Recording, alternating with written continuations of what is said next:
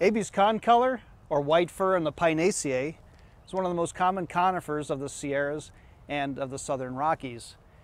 It gets to be a very large tree.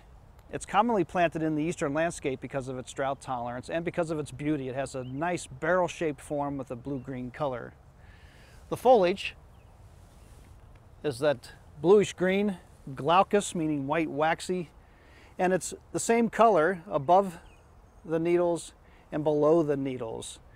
And that's what concolor means, of uniform color. Many firs have typically a very dark needle on the top side and very light or whitish on the underside. Abies concolor, like all Abies, has an upright cone that you typically don't see this time of year very readily. It's at the very top of the tree and it's upright, it's not pendant like many members of the pine family have.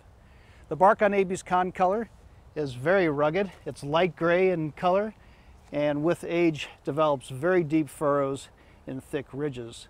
This tree will get three to four feet in diameter and over 100 feet tall, typically not in the eastern landscape, but where you find it in the Sierras, often associated with the giant sequoia. Abies concolor, white fir.